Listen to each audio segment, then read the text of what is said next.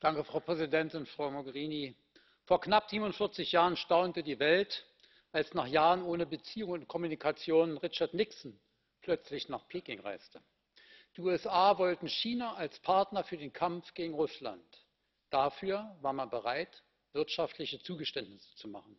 nichts von dieser konstellation hat heute bestand. wenn china prosperiert und gewichtig auf alle weltwirtschaftlichen prozesse einfluss hat ist dies nach der gesellschaftlichen katastrophe der kulturrevolution vor allem der selbstbestimmte weg seiner fast ein fünftel der weltbevölkerung umfassenden bevölkerung sozialen und wirtschaftlichen fortschritt zu garantieren. das aber hat auswirkungen auf die gesamte welt für wirtschaft umwelt frieden ressourcenverbrauch internationales zusammenleben und demokratische verfasstheit nach innen und nach außen und erfordert auch politische positionen aller anderen partner.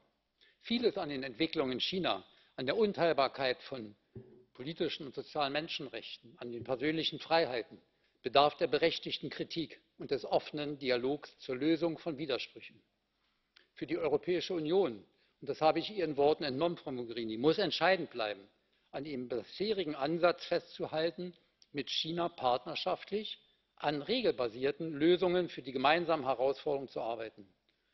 daran wird mittel und langfristig kein weg herbeiführen auch wenn kurzfristige meinungsverschiedenheiten bestehen. die eu sollte nicht der versuchung erliegen zum beispiel in der handelsfrage tauschgeschäfte zulasten dritter einzugehen.